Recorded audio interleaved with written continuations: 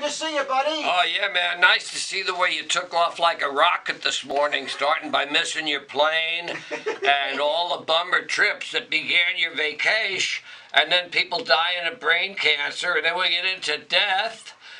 And What could be uh, it was beautiful. You know, it reminded me of that movie where uh, Neil, uh, what's the old Rod Steiger was Joy Boy, all about the dead, you know, and laying them away, and it was a wonderful thing to see. So from there, anything was up. I learned what algorithms are because I had to go look it up. And uh, Susan likes remembering, and I like that, man.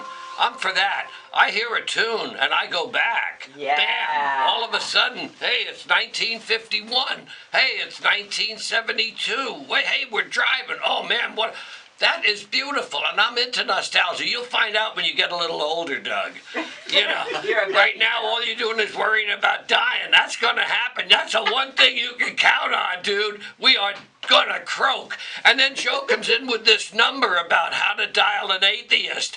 Don't bother dialing an atheist, dude, because atheism is dogma. There is no God, is what they're saying. They ain't been there no more than a guy been up there and sit on Jesus' lap and come back. It ain't like that. Kien blanking Sabe. Read my book because it's about the people who are agnostics and we get neglected because they go right to atheism. I also want to talk about Joe on the ads thing. Let me tell you something.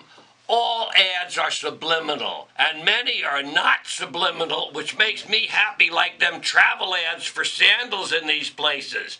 You ain't gonna see people in bikinis like that down there. Get out of here, Jack. They're just there to sell the sizzle. And it works every time. I pay attention. I don't leave the room when those beach ads come on. And I ain't planning on going nowhere but Bearsville.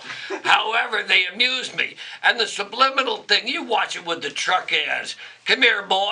Get you in this big truck, make you a powerful big old man. No, you won't be weighing 120 pounds when you jump out of this big dually and ah bah bah. And it's always that guy with that voice and that. It's wonderful. It's called Madison Avenue. And you gotta get over letting stuff make you mad. Joe gets outraged, and that's cool, and that's part of his shtick, which is all right. But I don't bother with that.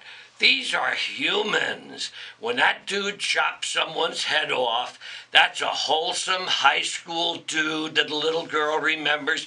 Oh, he was such a lovely student and he used to write poetry. Hey, Jack, he's out there chopping heads off and he's Jihadi John.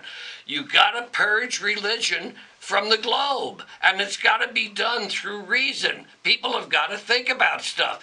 I just, during the thing when the wine commercials and all came on, I put my headset on and I played Losing My Religion by REM to a live audience, man. The sooner religion gets out of people's minds, like a brain cancer, the sooner we start to improve.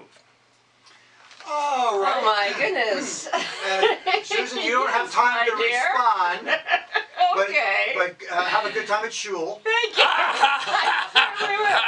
And uh, this has been our Patrick. temple, uh, and uh, we sacrifice a lot of people here. Uh, thanks to Patrick Carlin. Yes, Good you, yes. buddy. Yeah, renounce the religion of your choice. Later. Yeah. Oh, and thanks for pushing the buttons. I can't. And thanks to Joe Raiola for checking in and making sure Oh, we yeah. understand what's really going on at Barney's. All if you right. keep the dial tuned right ah. where it is, 100.1 FM Yeah. Radio Woodstock, Ryan Van Warner keeps you company with good music and good vibes.